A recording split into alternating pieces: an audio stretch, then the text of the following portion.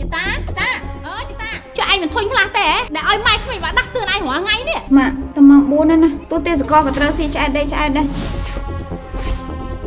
វ៉ាន់គេគ្មានស្អីជិះទៅធ្វើការជើងមកឲ្យម៉ូតូនេះគេជិះទៅធ្វើការទៅណាតែម៉ាក់ខ្ញុំក៏ត្រូវទៅធ្វើការដែរណាបើគាត់ជិះម៉ូតូខ្ញុំទៅអញ្ចឹងខ្ញុំបានតែជិះទៅម៉ាក់ជាមេគ្រួសារណាមិនមែនជាប្តីឯងហើយក៏ជាឯងដែររឿងខ្លះណាឆ្លងកាត់ត្រម៉ាក់បានហើយមិនបាច់ឆ្លងកាត់ឯងកំពុនអាពៅឯងឥឡូវខ្ជិលឡាស់សិតធ្វើមុខធ្វើមាត់របៀបដូចចម្រិញយើងធុញយើងដែលយើងប្រើវាអញ្ចឹងណារឿងហ្នឹងឯងខ្ញុំគិតថាមិនបាច់ចេញល្អជាងព្រោះអីប្រូជីតាទៅសេមកគ្មានជាតិអីបន្តិចសោះឯងមានរឿងអី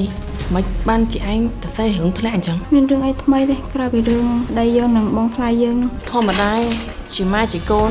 គេអត់ដែរចោលគ្នាទេប៉ុន្តែឯងជាប្រពន្ធនោះក៏ត្រូវទឹកមាត់ប្រៃដែរបងគំរោះនៅក្នុងច្បាប់គ្រួសារដែលគាត់បង្កើតឡើងបានអត់វាមិនស័ក្តិសមជាមួយគ្រួសារយើងទេឲ្យបងសុំពេលវេលាបន្តិចបានទេអូនខ្លាចខ្លាចតម្រុំតែបងធ្វើវាបានពួកយើងលែងលះគ្នាហើយកំដឹងអូនមិនមែនអត់ទំនីទំនាក់ទំនងយើងទេតែថ្ងៃមុខរឿងអីក៏អាចកើតឡើងបានដែរពួកយើងធំធំអស់ហើយណាបងយើងមានសមត្ថភាពរកលុយយើងអាចរស់នៅផ្ទះបាយពីគាត់បានតែបងបងចង់នៅផ្ទះរួមជាមួយគ្នាអញ្ចឹងដល់ពេលណាទៀត